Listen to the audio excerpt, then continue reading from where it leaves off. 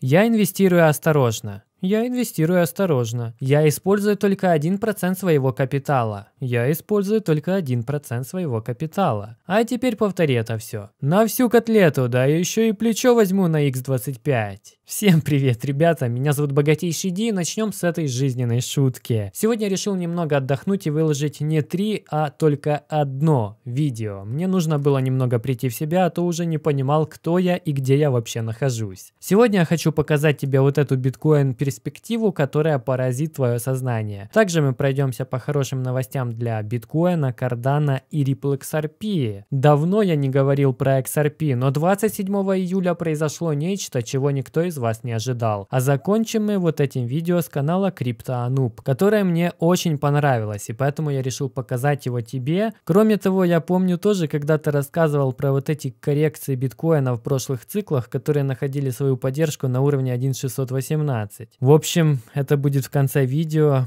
Ну а прежде чем мы начнем, не забудь поучаствовать в жизни канала и поставить лайк под это видео. Это помогает каналу расти, а мне находить новую мотивацию на создание новых видео. Этот пост от 25 октября 2011 года, практически 10 лет назад. Ник Аллен пишет. Биткоин рухнул до 2 долларов 70 центов. Так рад, что я не влез в этот хаос. Я думаю, спустя еще 10 лет приблизительно так же иронично буду читать посты о том, как кто-то очень рад, что не влез в падение биткоина до 30 тысяч долларов. Этот парень еще жив? Да, жив, но мертв внутри. Я решил показать тебе это для понимания перспективы биткоина, для того, чтобы мы осознали нашу долгосрочную цель. Инвестор Ян Кассель у себя в Твиттере опубликовал очень жизненную цитату, которая сюда идеально вписывается. Дисциплина – это когда твои долгосрочные цели меняют твое же краткосрочное поведение. И это, кстати, касается не только биткоина или вообще всех видов инвестиций. Как по мне, это правило поможет тебе в любом аспекте твоей жизни. Перед тем, как перейдем к этому анализу биткоина, по-быстрому пройдемся по новостям, а также по анчейн метрике биткоина. Это очень крутые новости для принятия криптовалют. Казахстан, который недавно стал чуть ли не столицей майнинга после того, как майнеры бежали из Китая, разрешит банкам открывать криптосчета. Сообщается, что правительство Казахстана планирует официально разрешить местным банковским учреждениям открывать банковские счета для транзакций с криптовалютами деньгами, например, с биткоином. Конкретно розничным инвесторам пока еще не разрешено заводить такие счета в банках, но это уже хороший первый шаг, который наделяет оптимизмом взгляд в будущее криптовалют. CoinTelegraph сообщает о том, что все больше компаний становятся оптимистами по поводу криптовалют. Например, Horizon Kinetics, инвестиционная компания, которая владеет активами на сумму 7 миллиардов долларов, посоветовала своим инвесторам криптовалюту как защиту от всех растущих угроз, с которыми сталкивается глобальная экономика. Исходя из их отчета, назад дороги нет. Впереди только лишь массовые дефолты или обесценивание национальных валют. Неудивительно, ребята, что на таком фоне правительства ускоренно работают над своими собственными цифровыми валютами. Пандемия и ее влияние на экономику внесло коррективы. Принятие цифровых валют произойдет на целых 5 лет раньше намеченных сроков. Так говорит исследование европейской блокчейн-компании Guard Time. По их словам, на скорость принятия влияет также и новая гонка вооружений в кавычках. Только вместо вооружений у нас теперь цифровые технологии и валюты. Тот, кто раньше их запустит, улучшит свои позиции и позиции своей валюты на мировой экономической арене. А теперь я бы сказал, самая сенсационная новость для Ripple XRP за последнее время. Запуск системы XRP совершился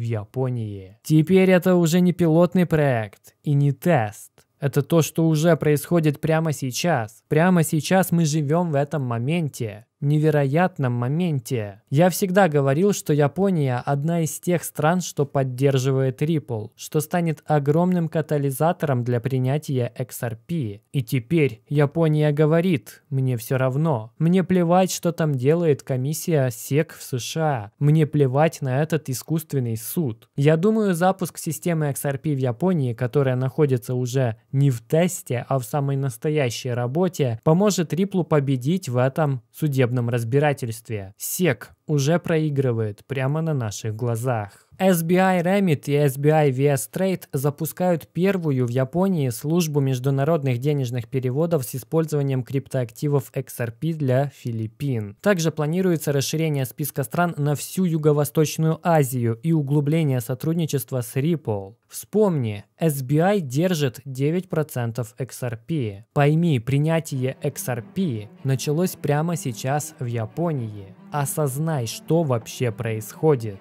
А происходят огромные вещи для Ripple XRP. Вещи, о которых мы говорили годами. Вещи, за которых нас поливали грязью хейтеры и скептики. Все они прямо сейчас начинают превращаться в реальную жизнь.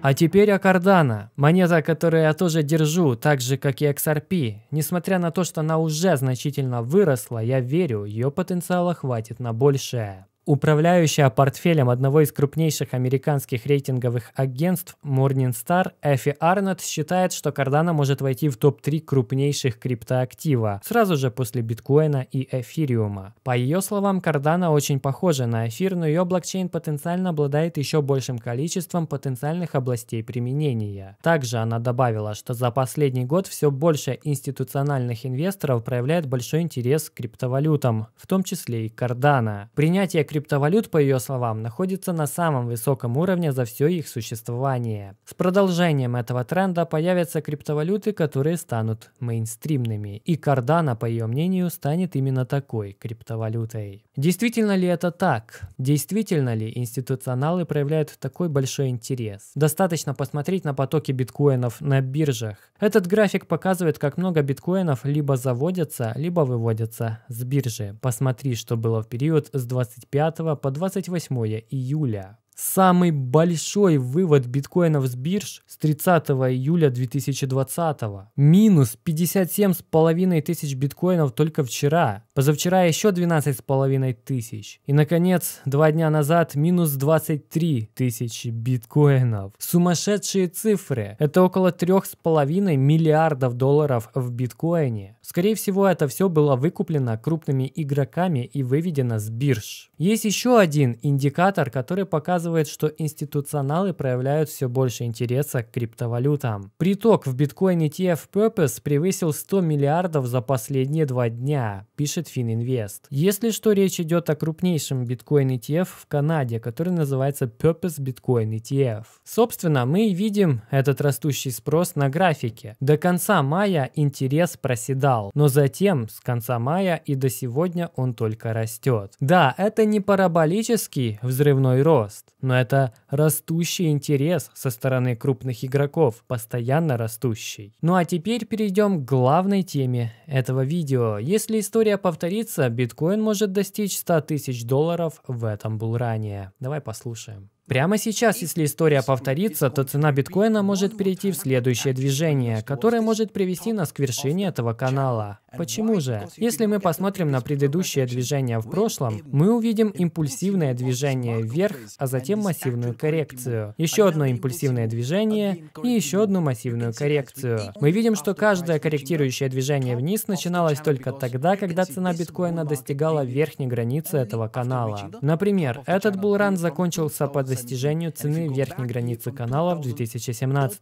Если мы вернемся еще в прошлое, в 2013, мы увидим, что и тот булран закончился лишь на верхней границе канала. В 2011 мы видим такой же сценарий. Завершение булрана на верхней границе канала. И теперь, если мы посмотрим на нашу ситуацию, мы увидим, что до этой верхней границы биткоину есть еще куда расти. Но также нужно заметить, что в каждом импульсивном движении вверх в каждом цикле, прежде чем достичь пика, биткоин всегда показывал небольшую коррекцию, в которой цена находила поддержку на этом уровне 1.618 по Фибоначчи, и затем снова начинала расти. Точно так же было и в следующем цикле. Цена биткоина посреди бычьего рынка переживала откат, который закончился точно на уровне 1.618 по Фибоначчи. Затем цена снова переходила в растущее ралли. В 2017 абсолютно та же история. Цена находилась в булране, посреди которого случилось коррекционное движение, что тоже нашло поддержку на уровне 1.618 по Фиба, после чего рост продолжился. Сегодня мы наблюдаем очень похожую картину. Цена биткоина показала импульсное движение движение вверх, а сейчас находится в коррекции, которая нашла поддержку прямо на уровне 1.618 по Фибоначчи. Точно так же, как в циклах 2017, 2013 и 2011.